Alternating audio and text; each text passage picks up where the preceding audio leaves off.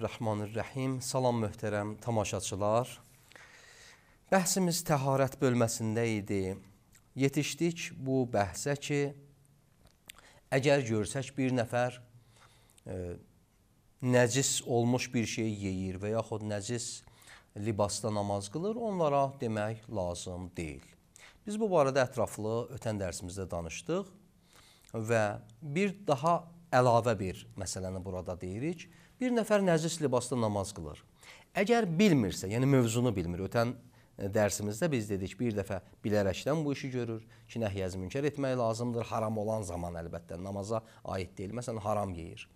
Və bir dəfə budur ki, hökmü bilmir ümumiyyətlə burada cahili irşad etmək lazımdır bizə, hökmü öyrətmək lazımdır. Nəinki nəhyəz münkər əmr məruf. Hökmü başa salmaq lazımdır. Bir dəfə də budur ki, həm hökmü bilir, həm də ki, bilərəkdən mürtəkib olmur. Bilmir bu haramdır, bilmir ki, bu namazı batildir məsələn. Belə halda e, biz dedik ki, burada heç bir vəzifəmiz yoxdur. Əlavə olaraq burada demək istəyirəm ki, bunu əgər bir nəfər bilmir ki, libası nəcisdir, o libasla namaz qılır, bilmədiyi halda onun namazı səhihdir. Namazının həqiqətən də səhihdir namazı. Sonradan hətta bilsə də onun namazının problemi yoxdur. Əlbəttə bu bəhsin öz təfərrüatı var ki, inşallah namaz qılanın libası bəhsində o geniş bəhs olunmalıdır. Amma növbəti məsələ elə bu məsələnin əsnasındadır. O da budur ki, lazım deyil bir nəfər dedik, nəcis xörək yeyərsə, nəcis bir şey yeyərsə deyək. Amma mən ev sahibi olaramsa, yəni bunu mən bişirmişəm, mənim qonaqlarımdır, mənim süfrəmdədir və ya mən bişirtdirmişəm, hazırda mənim süfrəmdədirlər onun nəcis olmasın gərək mən onlara deyəm. Vacibdir ki, onlara onun nəcis olmasın deyəm. Nə üçün? Bəs yuxarıdakı məsələ ilə və ya bundan öncəki dərsimizdə izah etdiyimiz məsələ ilə ki, dedik lazım deyil xəbər verəsən. Burada nə üçün mehmanlara xəbər vermək lazımdır, ev sahibi qonaqlara xəbər verməlidir? O buna xatirdir ki, əgər bir nəfər özü bilmədən yeyirsə, günah ki etməyib, eyb yoxdur, qoy yesin. Mənə heç bir vəzifə yoxdur. Amma mənim ixtiyarım yoxdur, onu yedirdəm. Burada bir növ ev sahibi, qonağın burada nəcis xörək yeməsinə baisdir, səbəbkardır və bir növ onu yedirtmək sayılır. Nəcis bir şey ona yedirtmək sayılır. Bu baxımdan nəcis bir şeyi yedirtmək haramdır. Bu haramdan uzaqlaşmaq üçün vacibdir ki, desin ki, qonaq bu nəcisdir məsələn. Artıq qonağın vəzifəsi budur ki, onu yeməsin. Növbəti məsələ budur ki, bəzən görürsüz müəyyən bir səbəblərə görə insanda şək yaranır ki, bu əşyanı mən qoymuşdum müəyyən bir yerə. Məsələn, kənd yerlərində çox vaxt bu olur. Bir vedrəyə su qoyub, həyət bacadır üz istəyirəm, it də gəzir həyətdə bəzən, qış aylarında məxsusən, payız aylarında. Və həyətdə hətta itin izini də görür. İnsan şək edir təbii olaraq ki, it gəlib başını salıb bu məsələn sudan içib içməyib. Nə qədər ki pak bir şeyin nəcis olmasına yəqinim yoxdur, o şey pakdır. Bu da bu məsələdir. Biz dedik ki, hər bir şey pakdır. Elə deyilmi? Nəcis olmağın bilmirəmsə, bu ey təkrar edirəm ki, yadınızda qalsın. Təharət və paklıq qaydası və qanunu. Bu hamıya aiddirmi? Yəni hətta o insanlara, o müsəlmanlara aiddir ki, onlar e, nəcasəti, təharəti riayət etmirdilər. Yoxsa möminlərə aiddir. Buna xatirdir ki, ola bilsin bir nəfər desin ki, qardaş, bu qayda kafirlərə aid deyil. Çünki biz bilirik ki, məsələn deyirəm, diqqət edin, bu bəhs fiqdə geniş surətdə olub, mən bir qədər izah edirəm. Bəzi alimlər bunu deyirlər. Bu təharət qanunu, təharət qaydası buna aiddir ki, adətən çünki möminlər dinlə xəbərləri var, bilirlər qabı necə suya çəkmək lazımdır, libası necə paklamaq lazımdır və s. Ona görə ehtimal verirlər ki, təharət qanunu normal möminlərə aid olsun. Nəinki laqeyd müsəlmanlara və ya kafirlərə. Çünki kafirlər ki, paça, paçlamaq yolunu bilmirlər. İslamdan xəbərləri yoxdur.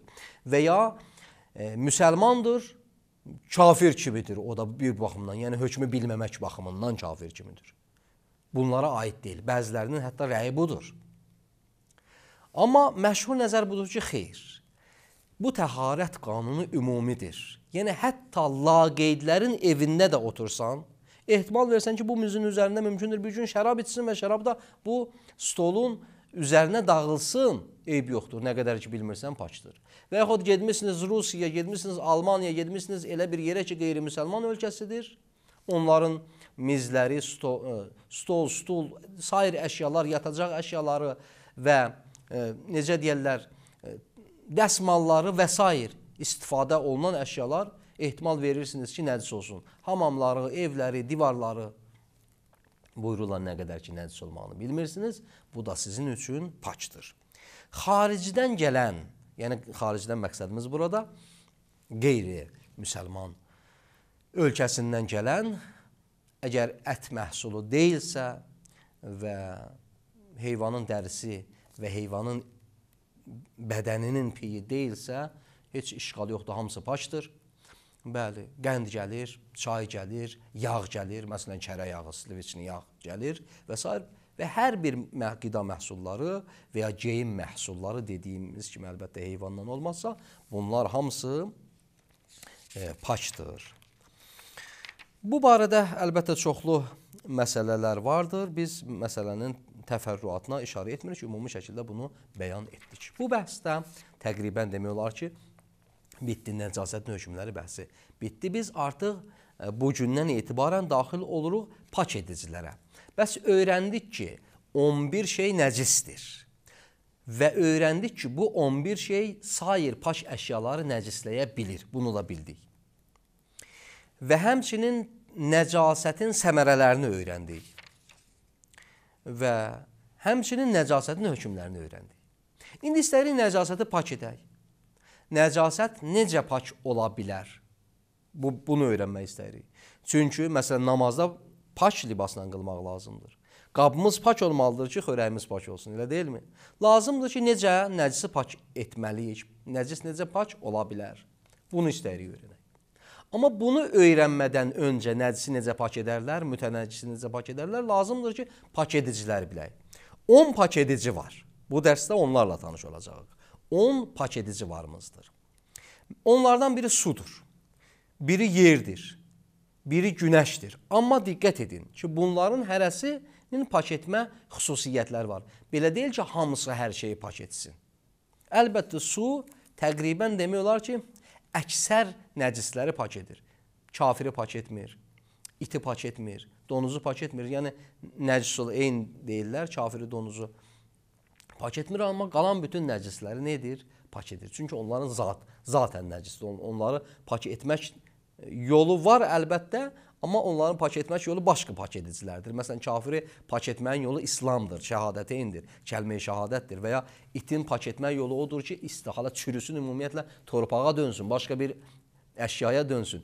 Başqa ə, e, pak edicilər onları pak edə bilər. Amma su, xeyr. Su bu zatı nəcis olan nəcislərdən başqa bütün şeyləri pak edir. Və ya günəş. Günəş belə deyil ki, hər bir şeyi pak etsin. Bəzi şeyləri, məsələn, sabit şeyləri, əşyaları pak edir və s. Bəs bu 10 pak edici varımızdır, amma 10 pak edici xüsusi şərtlərlə pak edir və xüsusi əşyaları özünə məxsus olan əşyaları müəyyən şərtlərlə pak edir. E, mən daha adlarını burada çəkmirəm, müəyyən misalları vurduq tədricən təfsilatlı şəkildə bəhs edəcək. Birinci sudan başlayaq. Birinci pak edici sudur. İndi gəlin görək ki, su neçə qismdir? Bunu nə üçün deyirik?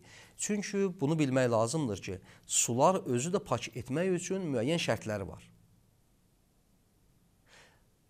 Və müxtəlif qismləri var suların. Bu müxtəlif qismlər müxtəlif şərtlərlə pak edir. Məsələn, az suvarımızdır, kür suvarımızdır, cari suvarımızdır, axar su, quyu su. Bunların hərəsi bir tərzdə pak edir. Hərəsi bir formada pak edir. Ədəd baxımından, bəzən libası sıxmaq baxımından və s. Ona görə bunların lazımdır qismlərlə tanış olaq. Sonra inşallah tanış olacaq e, bunların pak etmə şərtləri ilə pak etmə formaları ilə inşallah e, bəlkə də gələcək dərsimizdə inşallah bu barədə təfsilatlı şəkildə danışaq. Bir baxımdan su iki qismdir. Muzaf və mütləq. Mütləq su. Muzaf və mütləq su. Muzaf su nəyə deyirlər? İki cürdür muzaf su. Muzaf su budur ki, ya müəyyən bir bir şeydən alınır, çəkilir. Məsələn, müəyyən bir meyvənin suyu, müəyyən bir maddədən çəkilir, hazırlanır. Buna muzaf su deyirlər. Yaxud müəyyən bir şeylə qarışır. Adi sudur, müəyyən bir şeylə qarışır. Sudur, içinə rəng tökmüşəm, bulanıb. Sudur, içinə torpaq tökmüşəm, bulanıb. Bəs bu ikisi də muzaf sudur.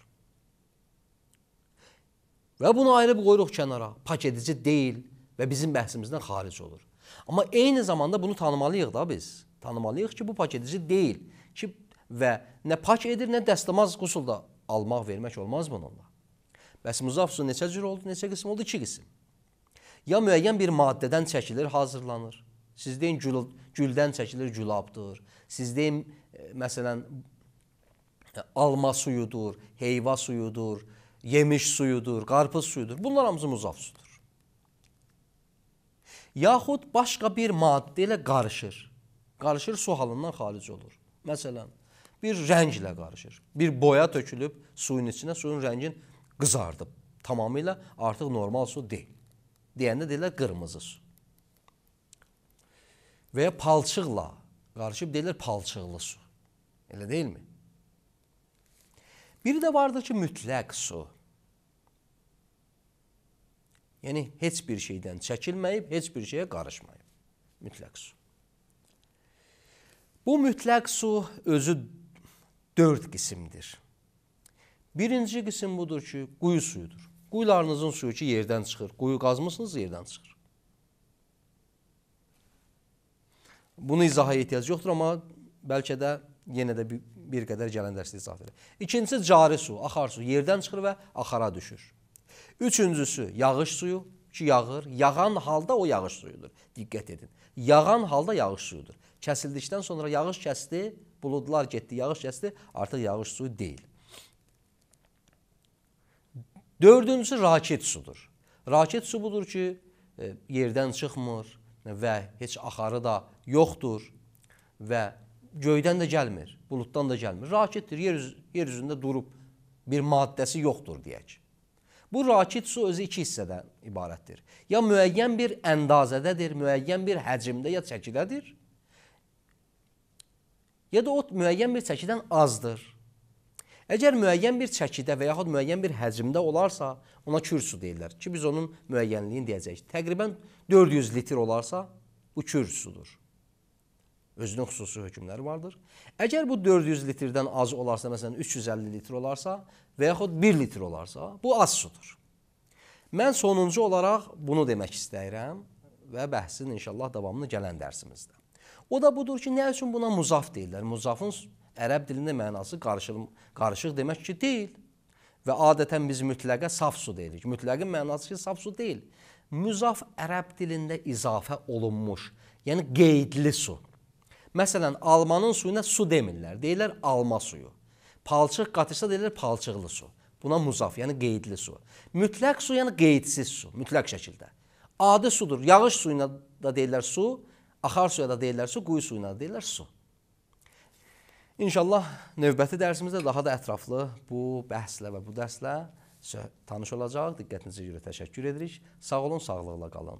Vəssalamu aleykum və rəhmətullahi və bərəkatuhu. بحمدك يا إلهي بدأت قولي وجئتك خاضعا ربي فكن لي. فإن لم تعف عن ذنبي فمن